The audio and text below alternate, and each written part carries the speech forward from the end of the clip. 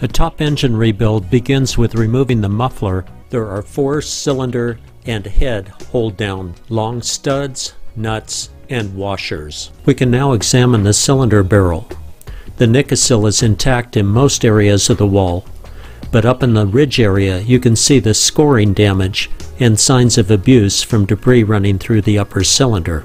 There's no damage to the engine beyond the upper cylinder wear and the valves, which show an excessive amount of carbon and are obviously leaking. Part 1 covered the engine teardown, and now we're about to remove the piston before engine reassembly.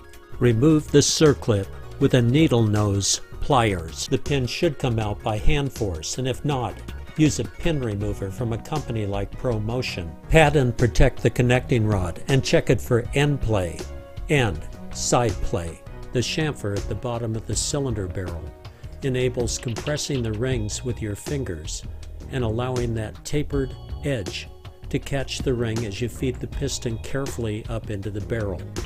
Extra time spent with torquing and tightening fasteners to specifications listed in the Honda service manual is time well spent. Coat the timing chain sprocket and timing chain with lube guard or similar thin oil. Timing marks aligned Install the upper engine support brackets between the frame and the top of the cylinder head cover. Use blue Loctite 242 on the nuts. Seat and fuel tank reinstalled, fresh top end, uncorked, with a stage 1 Hot Cams camshaft.